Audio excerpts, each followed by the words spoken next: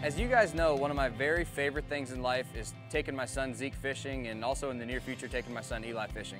To be able to share that with your child, your own child is great, but also with a kid that may not have the opportunity with their parents to go out fishing. You can really impact and change their life by getting them out on the water at a young age. One of the biggest things that Zeke was excited about when I first got him his first fishing rod was one of these little rods that lights up. It's something little like that that we would never think about.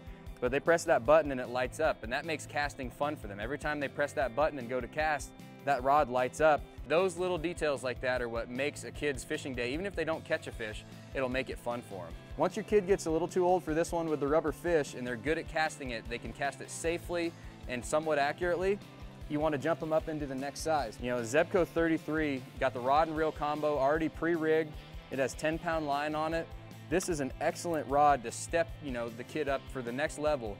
Maybe when they're, you know, three years old and they get comfortable with that little rod, it's time to step it up. You know, the longer rod they use, the better hook sets they're gonna get when they actually do hook a fish and they can cast the baits farther and it's gonna make it more fun. And if they get fussy, take them in. You know, you don't want them to ever have a bad taste in their mouth about fishing. So do yourselves a favor and do the next generation a favor by taking them out on the water at a very young age. Get them started young and you'll probably have a fishing partner for life.